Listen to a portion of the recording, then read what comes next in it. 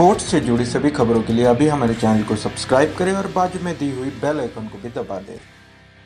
Hello स्पोर्टियन, स्वागत है आप सभी का एक और नई वीडियो में। इंडिया वर्सेस न्यूजीलैंड के बीच में हैमिल्टन में खेले गए तीसरे और आखिरी टी मैच में न्यूजीलैंड ने टीम इंडिया को चार रनों से हरा दिया। आपको बता दें, टॉस जीतकर इंडियन टीम के कप्तान रोहित शर्मा ने पहले गेंदबाजी का निर्णय लिया था, जो कि काफ़ी गलत रहा। न्यूजीलैंड की टीम ने पहले बल्लेबाजी करते हुए चार विकेट खोकर 212 रन बनाए। 212 रन के जवाब में टीम इंडिया 20 ओवर में 208 ही रन बना पाई। इस वजह से टीम इंडिया न्यूजीलैंड से आखिरी टी मैच में चार रनों से हार गई। आपको बता दें, यह मैच आखिरी ओवर तक चला।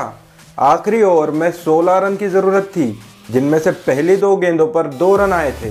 अब चार गेंदों पर चौदह रन की ज़रूरत थी। अब तीसरी गेंद के ऊपर दिनेश कार्तिक स्ट्राइक पर थे। दिनेश कार्तिक ने शॉट भी लगाया, लेकिन कृणाल पांड्या को रन लेने से मना कर दिया। हालाँकि कृणाल पांड्या ने आधी पिच तक तय कर चुके थे, और वही दिनेश कार्तिक के इस रणनीति पर कमेंट्री कर रहे भारत के पूर्व आक्रामक बल्लेबाज गौतम गंभीर काफ़ी नाराज़ दिखाई दिए गए। गौतम गंभीर ने कहा, उस समय अगर दिनेश कार्तिक कृणाल पांड्या को स्ट्राइक दे देते तो शायद भारत मैच भी जीत सकता था। और गौतम गंभीर ने इसी को मैच का टर्निंग पॉइंट भी बताया। उसके बाद गंभीर ने कहा कि दिनेश कार्तिक ने ओवर कॉन्फिडेंस दिखाया।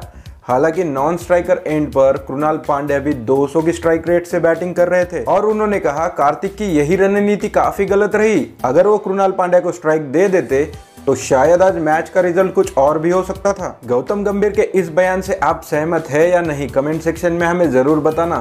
आशा करता हूँ दोस्तों, आज की भी वीडियो आपको इन्फॉर्मेटिव लगी होगी। अगर लगी है तो वीडियो को लाइक ज़रूर कर देना शेयर भी कर देना। अगर से आप इस चैनल पे नए हो तो बता दूँ कि मैं ऐसी स्पोर्ट्स से रिलेटेड वीडियोस बनाते रहता हूँ और इस चैनल पे अपलोड करते रहता हूँ। अगर आप स्पोर्ट्स में दिलचस्पी रखते हैं तो इस चैनल को सब्सक्राइब करके बेल आइकन ज़रूर दबा देना। तो चलिए दोस्तों, मैं मिलता हूँ मेरी अगली वीडियो में। तब तक के लिए, जय Hind. Sportian stay Sportian we